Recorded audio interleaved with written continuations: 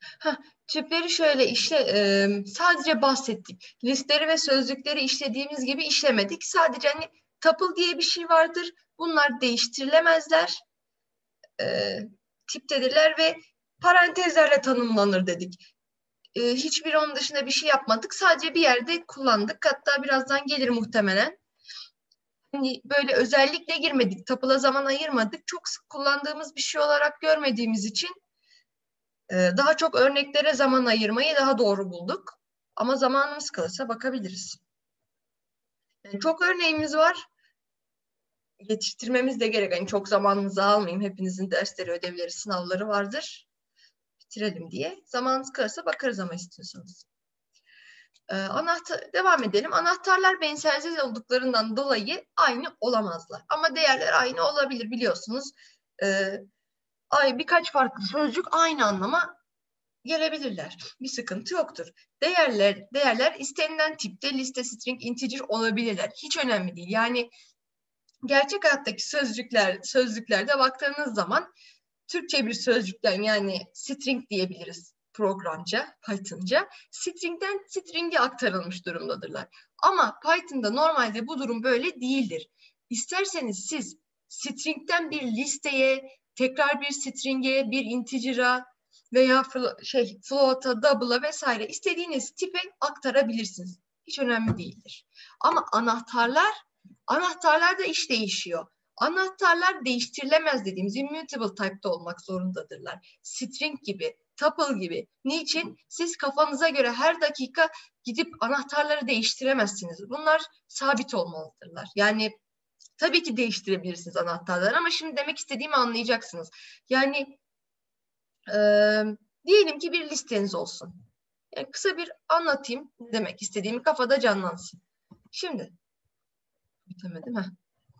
Listemiz olsun. Adı da A olsun. Listemizi ne yapıyorduk? 1, 2, 3, 4. A olabilir. Doğru mu? Olabilir. Neden olmasın? Şimdi biz bu stringlerimiz değiştirilebilir tipte demiştik hatırlıyorsanız. Yani ben gidip A'nın A'nın e, 0, 1, 2 ikinci elemanını 3 değil de ikinci elemanın 3 değil de 9 yapmak istiyorum. Yani ben aslında bu listi bir mutasyona uğrattım. Değiştirdim. Bunu yapabiliyorum. Ama e, şeyi de yapamam yani yapamam. Neyi yapamam? E, şunu yapamam. Sözlüklerde anahtar olarak koyduğunuz değişkeni değiştiremezsiniz. Değiştirmemeniz lazım. Şimdi sözlük düşünün. Şöyle de yapalım. Sözlüklerimiz böyle tanımlanıyor demiştik. Ben gidip buraya bir liste koyup listenin gittiği şeyi de e, benim listem dedim. Ben gidip kafama göre bu A'yı mesela gittim başka bir yerde A'nın bu elemanını değiştirdim. Değiştirdim ama aynı şekilde B diye bir kümem vardı ve B kümemde aslında yani şöyle yapalım. B kümemde aslında bunun değiştirdiğim haliyle, haliyle aynıydı. Şimdi A'yı değiştirdim tamam. Ama şimdi ikisi birbirinin aynı olacak. Bunu ayırt etmek zor ya da kafanıza göre key'leri başka yerde değiştiremezsiniz şeyi yaratırsınız dictionary'i. Onda ona özel işlemleri yaparsınız ama siz gidip bunun anahtarıyla oynayamazsınız. O zaman bunun benzersizliğini, aynı olmamasını bozmuş olabilirsiniz. O yüzden e, sözlüklerimizin anahtarları unique yani benzersiz olmalıdır. Burada anlaşılmayan bir şey var mı? Burası önemli. Hatayla karşılaşırsınız. Daha demin fark ettiyseniz bizde orayı sarı, sarıyla boyadı burada bir hata var dedi. Hemen e, nasıl oluşturulacağına bakalım. String, e, string diyorum Python'da dictionary'leri oluşturmak için birçok e, yol mevcut. Öncelikle daha demin yaptığımız gibi küme parantezimizi başlatıyoruz. Anahtarlarımı yazıyorum. İki nokta ile hangi değere gideceğini, hangi değerle eşleşeceğini belirtiyorum. Ali 23 yaşındaymış, Pelin 20 yaşındaymış. Bunu belirttim. Burası şey olmak zorunda değil. Yani gidip şuraya mesela, şuraya 20 Pelin de diyebilirim. Gidip buraya sınıf bunu da diyebilirim. Sonuçta e, şeyler için bir kısıtlamam yok. E, değerler için bir tip tip kısıtlamam yok. Sadece bu tip kısıtlaması değiştirilemez tip olması önemli anahtarlarda. Onun dışında bu şekilde tanımlayabiliyoruz. Tanımlamakta bir değişiklik yok, bir gariplik yok. Şimdi başka tanımlama yolumuzda dict yazıp, dict'i Python tanıyor otomatik olarak. Parantez içine yazıyorsunuz. Ali değeri eşittir 23 olsun istiyorum. Pelin değeri de eşittir 20 değerine gitsin istiyorum diyorsunuz. Bu şekilde yapıyorsunuz. MyDict 2'ye bastığınız zaman da ne göreceksiniz? Hemen CTRL Shift F10'a basalım. Ne göreceğiz? Bunu göreceğiz. Buradan da küme parantezlerinin içinde olmasından bunun bir e, şey dictionary, sözlük olduğunu anlıyorsunuz. Başka bir tanımlama yolumuz daha var. Gördüğünüz gibi dört tane tanımlama yolumuz var.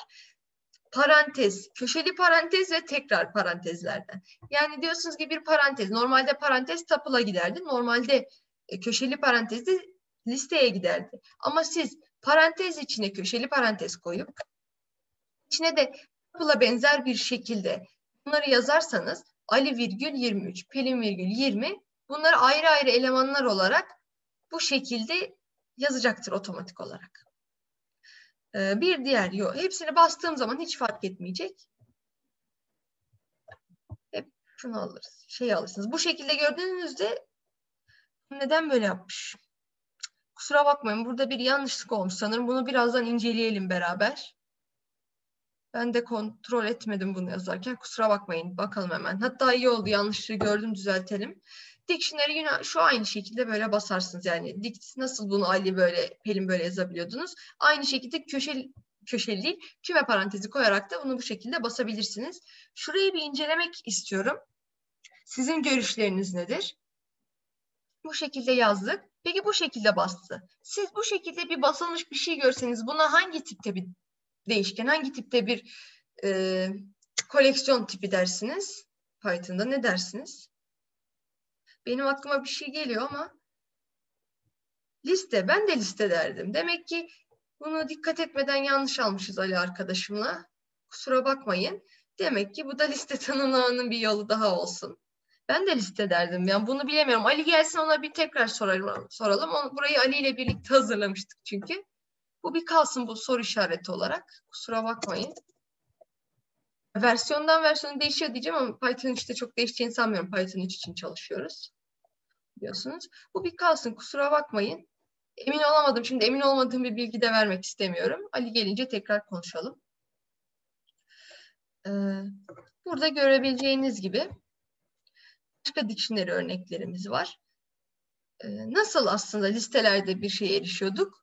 Listenin adını yazıp köşeli parantez içine kaçıncı indekstekini istediğimi söylüyordum değil mi? Burada indeks yok.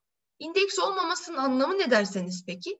Ben şimdi burada hatırlarsanız Ali Pelin sırasıyla tanımladım. Siz bastığınız zaman Ali Pelin sırasında basılacağını garanti etmiyoruz. Pelin Ali diye de basılabilir.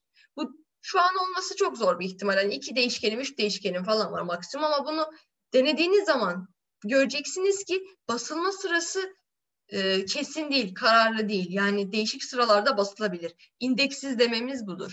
O yüzden biz burada e, indekslerle erişmeye değil, iyilerle erişmeye çalışıyoruz. Yani sözlükte siz arama yaptığınız zaman elma kaçıncı kelimedir diye aklınızdan bakmıyorsunuz. Elma kelimesini arıyorsunuz. Aynen bu şekilde ilerleyeceğiz.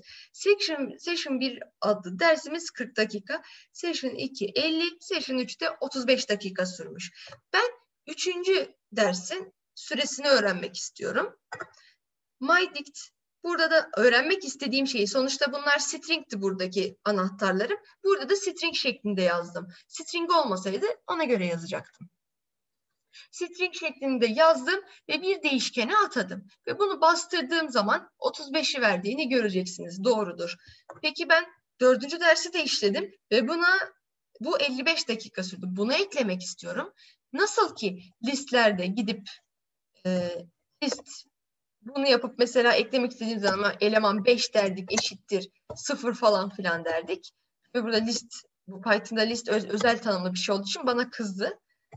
Burada hani mesela lt yapacağım. Tabii lt'nin de ne olduğunu yukarıda belirteceğim. Oh, kusura bakmayın. Şu şekilde belirtmem lazım. LT'nin bir liste olduğunu söyledim. Beşinci elemanı da sıfır yapmak istediğimi söyledim. Aynı şekilde geçerlidir. Çok benziyorlar birbirlerine. Tek session 4 diye bir şey aç dedim ve bunu da 55'e eşitledim. Bastırdığınız zaman göreceksiniz buraya eklenmiş durumda olacaktır. Burada anlaşılmayan bir şey var mı? Ee, arkadaşlar merhabalar. Geciktim kusura bakmayın ders vardı. İyi dersler devam et istersen. Ali sana bir şey soracağız. Gördün mü dersin o noktasını şu örneğimizle ilgili? Bir sorumuz var. Biz karar veremedik.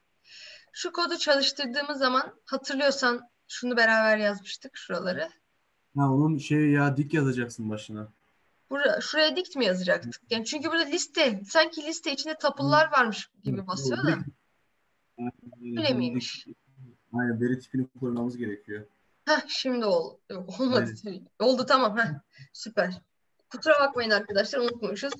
Bir liste tanımlaması öğrenmiş olduk beraber bu arada. Öyle düşünelim. İşte burada aslında e, yani bir bakıma bu dik veri yapısında istemeden tam olarak göstermiş olmuşuz yani. Hı.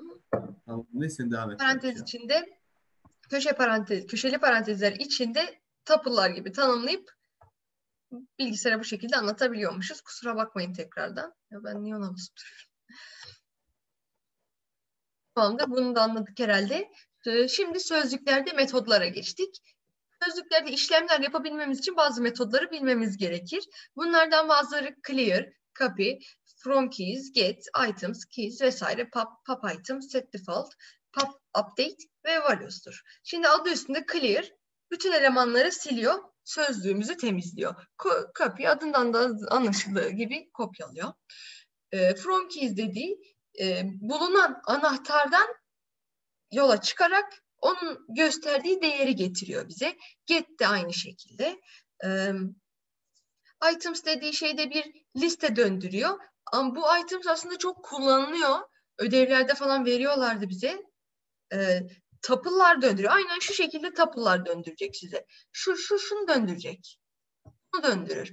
Bir liste içinde bu değerleri tapıl tapıl döndürür. Tamam. Bu bunu döndürecektir. Bunları detaylı işleyeceğiz de önden bir gösteriyorum. Çünkü hepsini işleme zamanımız olmadı. En sık kullanılanlarını yazdık. Ee, sonra set default'ta buraya bir değer, e, bir anahtar verirsiniz. Anahtarın ya değerini verir. Eğer anahtar yoksa da o anahtarı belirtilen value'da yaratır. Bu şekilde diyebiliriz. Values ve keys de birbirine benziyordur. Listeler yani value'ların olduğu, key'lerin olduğu listeler döndürecektir bize. Hemen bakalım. Set default ne yapıyormuş bu arkadaş? Daha demin de bahsettim aslında kısaca. Pelin, Fildiş, Ali, Kandilcik. Yani ad soyad eşleştirmesi yapan bir sözlük yaptım. Adı da mydict. Print ad, mydict, set default. Pelin, beyaz. Şimdi Pelin diye bir key var mı? Var. Burada Pelin diye bir key var MyDict'in içinde. Ama bunun değeri de var mı? Belli mi? Evet belli fil diş. O zaman fil dişi basacak. Ama gidelim Ahmet. Ahmet beyaz. Ahmet diye bir key var mı? Yok. E o zaman diyor ki bana, şurada tanımda söylemiştik. Ahmet diye bir verilen key yoksa, anahtar yoksa bu anahtarı yaratır İçine de yanında belirttiğiniz değeri atar. Yani Ahmet beyaza işaret eder. Bastığınız zaman Ahmet beyaz basacaktır. Set default Ali dediğiniz zaman eğer bir parametre vermezseniz ve Ali diye bir değeriniz varsa kandilcik basacaktır. Bir sıkıntımız var mı? Yani size şöyle söyleyeyim. Sözlü dictionary gerçekten hani az kullandık. Hani özellikle öğrettikleri için ödev veriyorlardı, sınavlarda soruyorlardı. Evet. Ama listeyi daha çok kullanıyorsunuz. Hatta sözlük yapmaktansa aklınıza liste yapıp çok boyutlu listelerden bahsetmiştik ya. 2-3 boyutlu liste yapmak daha çok hani akla yatkın geliyor çoğu zaman. Ama bunu da öğrenin çok büyük kolaylık sağlayacaktır. Belki bununla ilgili ödevimiz var mı? Bakalım şimdi.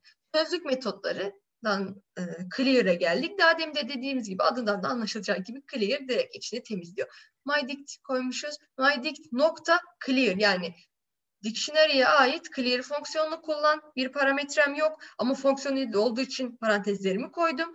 Bitti. Bastığımda ise print ile mydict'i boş basacak çünkü ben onu temizledim. Kopyaya geçtik. Burada ne yapıyor bu arkadaş? Kopyalıyor adı üstünde. mydict'i bu şekilde yazıyorsunuz. İçine bir parametre almıyor. Belirttiğiniz copy dict adlı dictionary'e atıyor. Biliyorsunuz eşitliğin sağındakini sol, sağındakini solundakini aktarıyorduk iç, içeriğini. Bunu bastığınız zaman birebir aynısını göreceksiniz. Burada bir sıkıntı yoktur umarım. Biz'e geldik. Biz ne yapıyor? Anahtarları döndürüyor. Peki sizce bu döndürülen şeyin tipi, type'ı nedir? Bildiğiniz var mı tahmin edeniniz?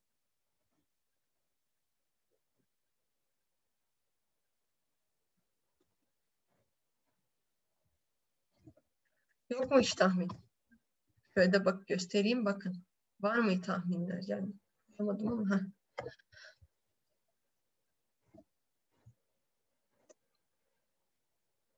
Hemen şöyle yapalım.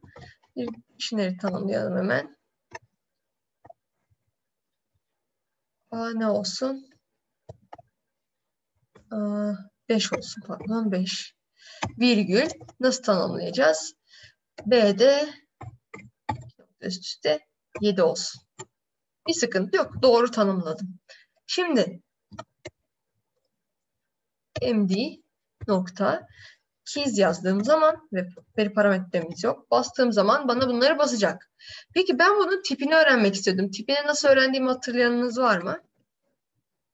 Type adlı bir fonksiyonum vardı. Type şurada parantezimizi unutmuyoruz. Type md md case'in tipini öğrenmek istiyorum.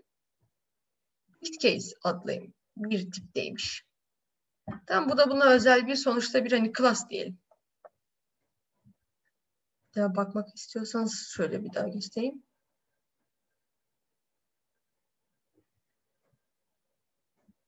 Tamamdır.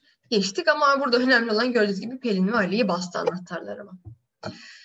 E, len fonksiyonunu hatırlarsanız stringlerde, listelerde de kullanmıştık. Len'i aslında dictionary'de, dictionary'lerde de kullanılabiliyoruz.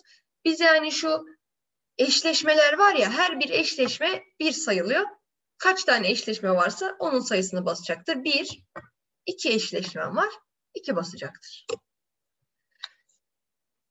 Get diye bir metodum vardı. get Ali dediğiniz zaman Ali'nin değerini basar aynı şey yapmak gibidir. Şurada yaptığımız gibi mydict neydi mesela orada Ali'ydi. Hani burada Ali yok hata verir bize ama bunu basmak gibidir. Yani hatta şurada print yapalım. Print yaparsak bunları basacaktır. Print yaparsak bunu basacak. Ya da mesela MD dersek bunu buna atlayacaktır. Aynen bunu yapıyor. Buradan bunu çağırıp döndürüyor. Eşit dediğiniz şeye return ediyor. Döndürüyor, eşitliyor. Tamamdır. Şuraya bakalım. Hı, güzel. Şimdi gerçek hayata benzer bir örneğimize geldik. Tabii ki gerçek hayatta daha karışık olurdu bu örnek ama hani nerede kullanabileceğiniz hakkında fikriniz olsun. Kan adlı bir dictionary oluşturdum. Gördüğünüz gibi içi boş.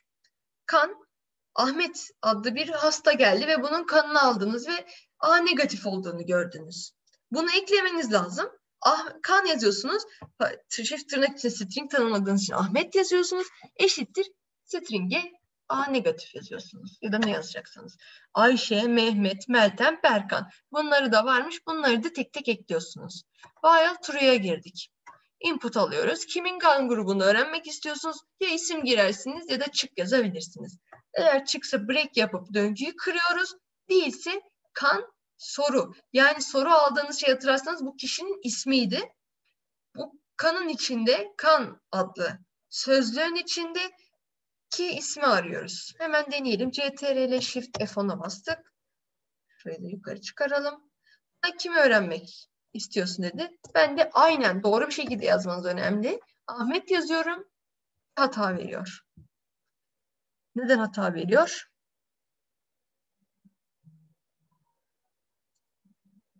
Ki ha, boşluk bıraktım gördüğünüz gibi. Tam aynı şekilde yazmam gerek dedim. Gittim boşluk bıraktım. Buraya Ahmet yazıyorsunuz. A negatif verdi. Ayşe yazıyorsunuz. A pozitif yazdı. Şimdi diyelim ki yanlış yazdım yine. Bana gördüğünüz gibi buradaki error önemli. Bir error verdi. Yani böyle bir anahtar bulamıyorum dedi. Bu tarz şeylerle çökmemesini sağlamak için ne yapacağımızı da ileriki başlıklarda göreceğiz. Doğrusunu yazarsak da bana verecektir. Bu kadar. çık yazarsam çık yazayım. Tamam. Burası da böyle bir örneğimizdi. Aklınızda bir soru var mı burası ile ilgili?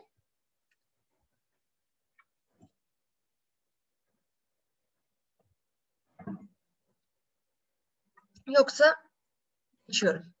Hata yakalama. Try accept. Yazılan kod karmaşık veya uzun olduğu zamanlarda beklenmedik sorunlarla karşılaşma ihtimalimiz artar. Hatta uzun ve karmaşık olmasını bırakın. Şurada bir tane boşluktan bile hata alabiliyoruz. Yani hata almak aslında kod, yap, kod yazarken çok kolay. Yani bir tane boşluk, bir tane virgül, bir tane noktalı virgül bizi batırabiliyor. Böyle bir durumda hata çıktığında program çökecektir. Daha demin yaşadık. Çökme durumunun önüne geçmek için hataları yakalayıp kendi kararlarımız doğrultusunda programın devam etmesini isteyebiliriz. Hata var kardeşim tamam ama sen bu işlemi yap diyebiliriz. Şu şu işlemi yap. Bu hata yakalama işlemi için try accept yapısı kullanılır. Hemen bakalım. Burada bir örnek verilmiş. While true.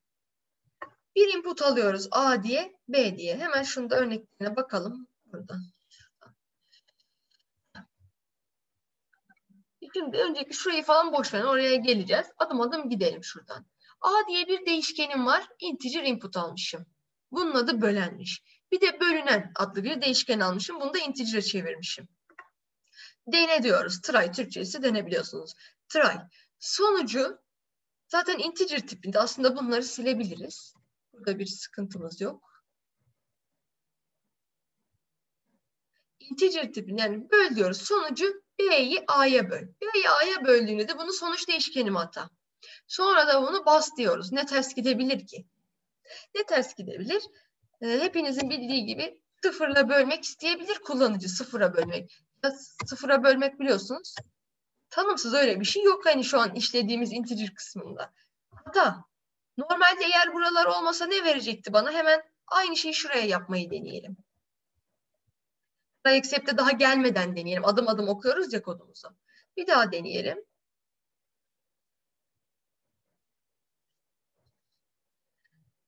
ki zero division error.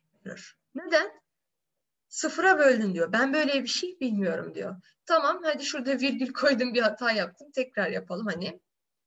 Ama hani onunla bağımsız. Aynen sıfıra bölünme hatasını tekrar aldık. Peki programımız çöktü. Bir tane kullanıcı hatasından programı çökertecek miyiz? Hayır. Bunu yakalamanın, ayıklamanın ve devam etmenin yolları vardır. Bunda try accept. Try'a girdik. Bunu dene dedik. Yapmaya çalış. Eğer yapamıyorsan, bunu yapamıyorsan accept'in içine gir diyor. Bu bir bloktur. Nasıl if, elif, else bloklarımız vardı. Try accept de bir bloktur. Try varsa accept olmak zorunda. Accept varsa try olmak zorunda. Yani şu final'ı şimdi bir geçelim. Ona birazdan geleceğim. İkisi olmazsa olmaz. Tamam mı? Burada tabii şey hatası yaptığınız için böyle oldu. Yani bunu silebiliriz. Hiç önemli değil. Falan karışmasın. Try olursa accept olmalı. Accept olursa try olmalı. Bunlar ikisi birlikte bir bloktur. Bakalım şimdi. Bunu yapmayı denedi. Burada hata aldı. Burada hata aldığında, normalde hop buradan diğer alttaki basamakları atlayıp çıkacaktı. Ama baktı ki try'in içinde accept'e gittik. Accept'te ne diyordu? Print hata bastır. Bu satırı atlayıver diyoruz. Şurayı da bir geçelim şimdi. Hiç önemli değil bu satırda bizim için. Şu anki kodumuz için hiç önemli değil.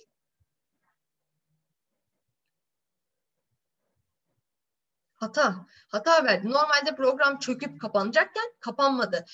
Şurada tanımadığımız cümlede verilen sonucu yani hatayı çökme durumunun önüne geçip programın istediğimiz şekilde hareket etmesini sağladık. Program çökecekti. Çökmesini engelledik. İstediğimiz şekilde devam etmesini sağlayıp istediğimiz şekilde devam etmesi derken de tekrar A ve B'yi sormaya geçirdik. True'da yani while'da olmasa alttaki satırlardan devam edecekti. Şimdi buraya kadar bir sıkıntımız var mı? Geliyor, bunları alıyor alıyor. Sonra buraya try'in içine giriyor. Try'in içinde ilk adımı yapmaya başlıyor. Yapabilirse diğerine devam edecek. Devam ettikten sonra bu accept'i atlayıp bir hata göremediği için atlayıp aşağılara devam edecek. Hayır yakalamaz. Şimdi oraya geleceğiz. Neden yakalamayacağını söyleyeceğim. Bak yakalın neden yakalamadığını görebiliyor musun? Neden yakalamaz sence? Şu haliyle yakalamaz. Yakalatabiliriz ama. Ee, bunun yakalamamasının sebebi integer'ı buraya yazmış olmam. Yazmış mısın? Evet çok doğru. Şey, şey, hata kısmı try'ın dışında evet. Try sadece try ve except içine burada diyoruz ki aslında try'ın içine koyduğumuz kısım ben burada hata alabilirim. Python sen dikkatli ol diyoruz aslında. Ve adam diyor ki evet burada hata alabilirim. Baktım aldım. Hop burayı burayı yapmıyor. Yapamaz çünkü artık altta hata aldı. Pat e, dokuzuncu satır atlıyoruz. Dokuzuncu satır yapmaya başlıyor. Hata almazsa sekizinci satıra devam ediyor ve yani if, elif, else'teki gibi if'e girdikten sonra alttakileri nasıl atlıyorsa burada da sekizinci satırı yapmayı başarırsa 9, 10, 11 atırıp atlayıp 12, 13'ten devam ediyor. Şimdi arkadaşımızın sorusuna gelelim. Integer kısmı rayımızın dışında olduğu için Python'a yani ben burada hata alabilirim demedim. Ben burada hata alma ihtimalim yok dedim hatta. A girersem burada direkt hata verecektir. Çünkü burada input'u alıyorum. Aldığım input'u integer'e çevirmeye çalışıyorum. Ben A'yı 10 tabanında bir integer'e çeviremiyorum diyor bana. Değer hatası veriyor. Bu tipi de görürsünüz. Value error'ı. Ee, şunu şuradan silelim.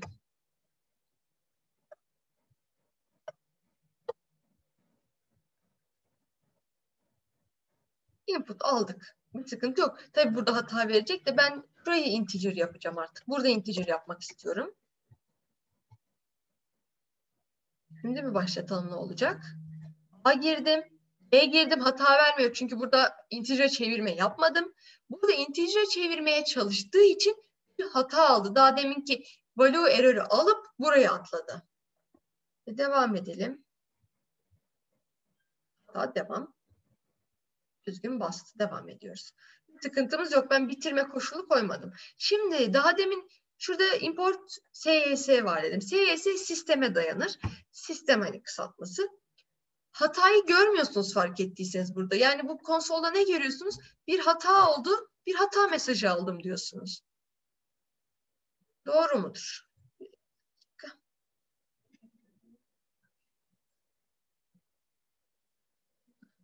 Teşekkürler. Bir hata mesajı aldım. Peki hatanın ne olduğuna dair bize bir ipucu vermiyor. Peki bunu nasıl alabiliriz? Bunu da sistemden, sistemden bilgi alarak yapmamız lazım. Şu satırı açayım. SYS, SYS metodunu tanımlamıştık. Nokta bu info metodu girdiğiniz zaman ve yanında sıfır dediğin zaman bu çünkü birçok şey bastıracaktır. Burası bir hatalar ya da kom şeyi döndürebilir. Ondan sıfır alacaksınız. Yani sıfırıncı elemanını alıyorsunuz. Bu da sizin hatanız oluyor. Hemen bakalım tekrar. İlk önce A ve B girelim. Buna yer hatası verdi. Daha demin almıştık hatırlıyorsanız. Sıfır ve bir çok sayı girelim. Hatta zero division error verdi. Burada da bana sıfıra bölemezsin dedi. Bu şekilde birçok hata alma ihtimaliniz varsa bu satırda bizim iki farklı tür hata alma ihtimalimiz var. Bunlardan hangisini aldığımızı bu şekilde görebiliriz. Hatırlarsanız burada bir finally metodum var. Metodum mu diyeyim, komutum vardı. Finally adı üstünde ne yazmış burada printte? Ne olursa olsun ben işimi yaparım demiş. Bakalım yapıyor muymuş hakikaten. Gelelim. Bir hata yok. R'ye girdi. Bunu yaptı. Hata yok. Print'i yaptık. Sonucumu bastım. Bir hata yok. Accept'i atladım. Finaly'e geldim. Ne olursa olsun ben işimi yaparım demiş. Peki bir de hatalı bir şey alalım. Value error aldım. Error aldım. Accept'ten çıkıp gitmem yerine final'ı yaptım. Ne olursa olsun ben işimi yaparım demiş arkadaş yine. Ee, sonra bir de şey sıfıra bölme hatamızı alalım. Evet. Ne olursa olsun finally ne yapar? Hata yakalansa yakalanmasa da ne durumda olursa olsun Finally mutlaka blokta varsa mutlaka işlenir, mutlaka içine girilir. Finally bu şey işi, bu işe yarıyor. Tamam mıdır? Burada bir anlaşılmayan bir şeyimiz var mı? Durduralım. Süremiz bitiyor dedi bana. Ee, bu bitince 10 dakikamız kalmış. Yaklaşık olarak 10 dakikamız bitince bir 10 dakika mola veririz. Sonra devam ederiz tekrar. esas örneklerimize geçeceğiz. Try except finally bu arada işlemiş de olduk bunları. Geçelim recursion yineleme. Son başlığımıza geldik. Sonra burada ödevli, ödev değil pardon, örnek sorularımızı çözeceğim. Sonra da size sürpriz diye yazdığım duyuru grubuna da örneği çözeceğiz beraber. İnteraktif bir şekilde beraber yapalım konuşarak. Adım adım nasıl bir algoritma yapılıyor diye. Recursion yineleme. Türkçesi yineleme. Kendini doğrudan veya dolaylı olarak çağıran fonksiyonlara denir. Fonksiyonlara recursive yineleme fonksiyon denir. Bakın kendini doğrudan veya dolaylı olarak kendini doğrudan çağırması çok önemli. Dolaylı olarak da çağırabilir ama bizim şu an ilgileneceğimiz kısmı doğrudan çağıracağı kısmı. Yani ne diyor bu diyorsunuz şimdi göreceğiz. Recursion kısa ve okunaklı algoritmalar yapmamızı sağlar.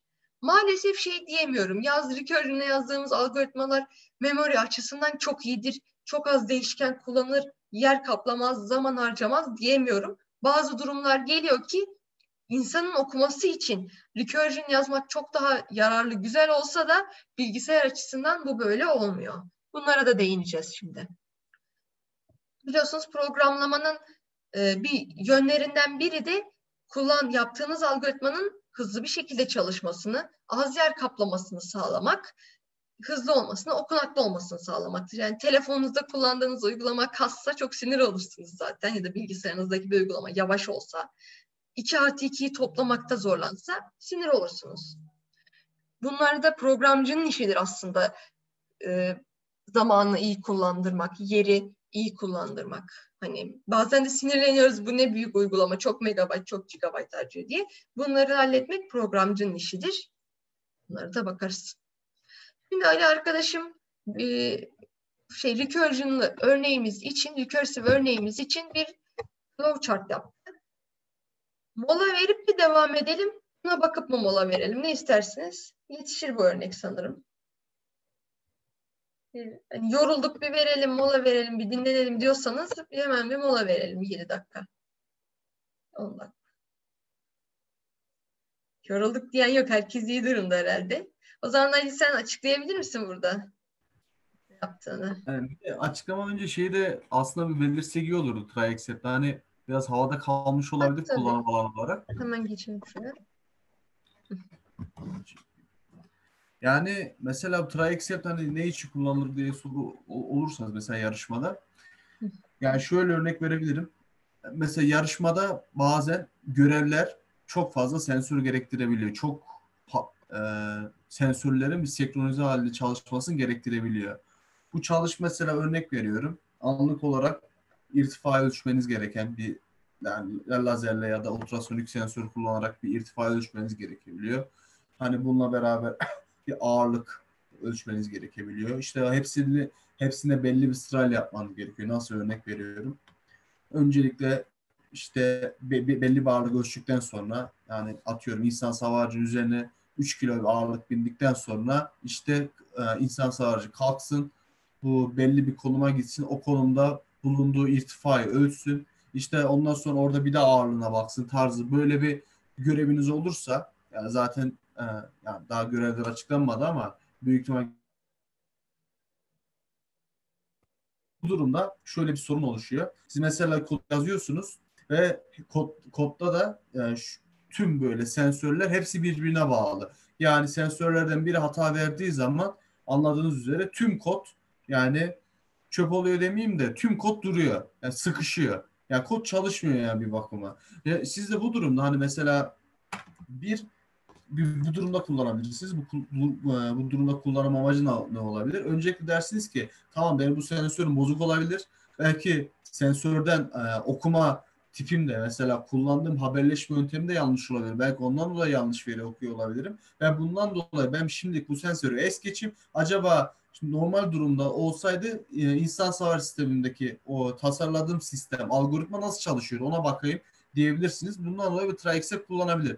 Ama bu çok tabii ben bunu çok önermiyorum. Niye önermiyorum? Bu bir bakıma şey gibi oluyor.